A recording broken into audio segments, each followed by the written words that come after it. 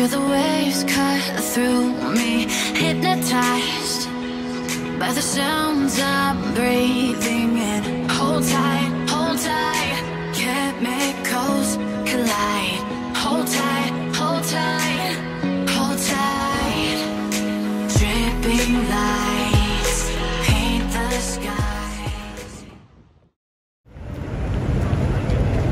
Yes po, magandang araw and welcome back sa ating video. Ngayong araw po ng Miyerkules, November 23, 2021.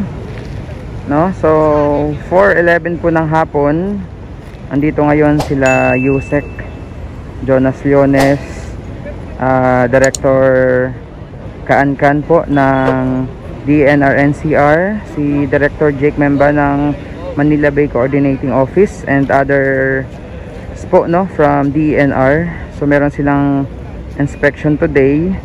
And mukhang may mga good news po tayo no? Sa mga susunod na araw. Eh abangan nyo na lang po. Sa ngayon alright so pasilip ko muna no? Itong Dolomite Beach. Maraming ano ngayon dito no? Mga ah, tiga DNR ngayon kasama natin. Ayan So yung banyo, mukhang kasama yan sa inspection po today.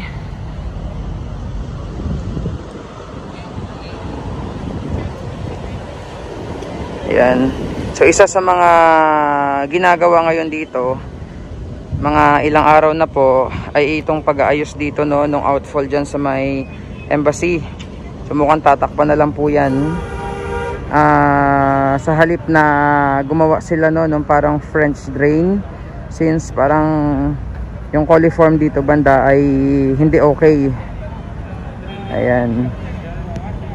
Ilang araw na po yan no na inalis muna yung mga bato.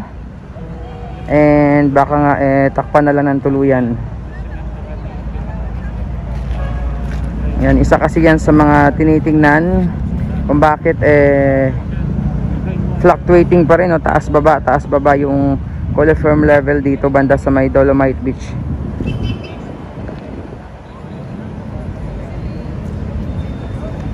Syempre abangan nyo yung mga oh, may mga good news nga tayong aantayin sa mga susunod na araw na abangan nyo na, abangan nyo na lang po.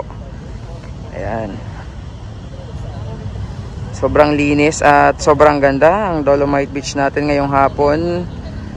Yan yung panahon ngayon no, mula kaninang umaga mula nung nag live tayo makulimlim pero hindi naman tumutuloy yung ulan. Ayan. Magsa sunset na pero hindi pa rin tumutuloy yung ulan no.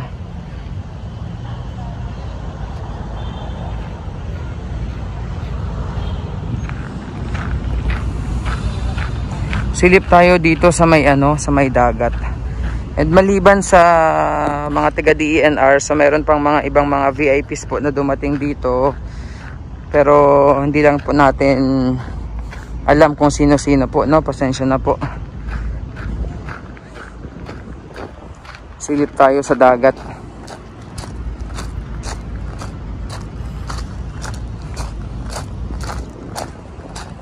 So past 4pm na pero tignan natin. At andyan pa rin yung mga nagtatalo ng mga isda no.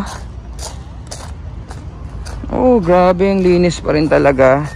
And let's see sa mga susunod na linggo eh basta abangan na lang po natin.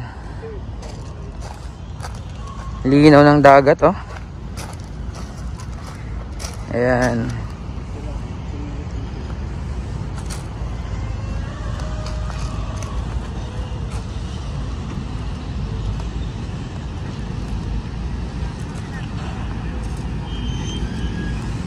So andito sila no. Medyo madami ngayon yung tao sa loob po ng beach area natin. Excited na ba kayo ulit na makapasyal dito?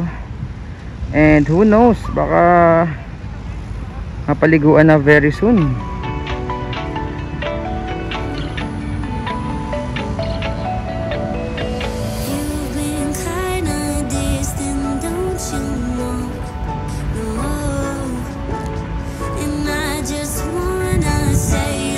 Grabe, ang ganda no?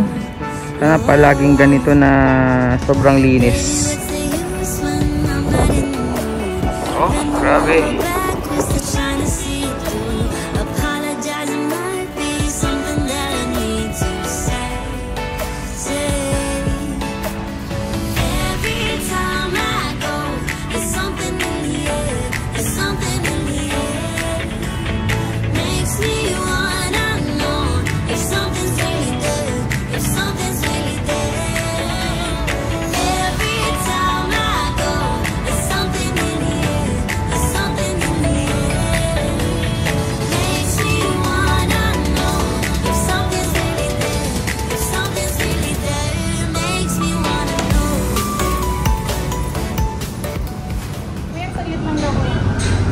Alright, so masisilip na natin ngayon no, yung napakagandang comfort room and shower room ngayong araw po ng Webes, November 23, 2021. So dito tayo sa may male area.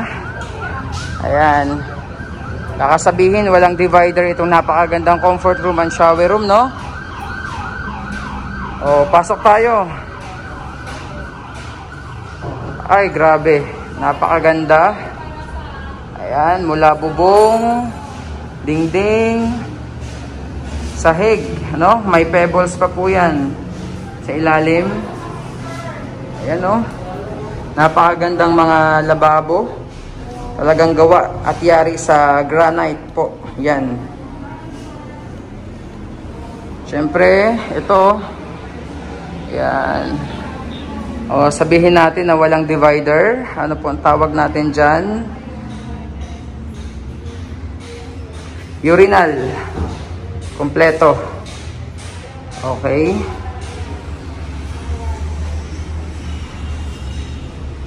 Ganda eh, no? Alright. So, lipat tayo dito sa... No? Sa shower room naman ng LGBT. Siyempre, isang kwarto lang ito. Ayan. Taas. Wow, grabe. Napakaganda. Sayang no, na galing na tayo dito sa loob. Pero meron na rin po yung ano, divider no, yan yung sa may shower room. So ganito yung itsura niya sa gabi.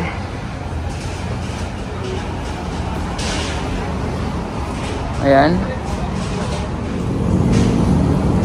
Ayan, so katatapos lang po mag-inspection no, ng ating mga tiga DNR ngayong gabi. Gabi na po, no?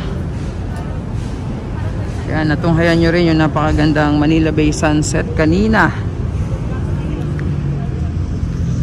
So sa labas ng ating ano, public restrooms, syempre, ang napakagandang pailaw dito. Tingnan nyo po yan, no? Ganda yun, no? Wow. Ganda oh. Parang butterfly.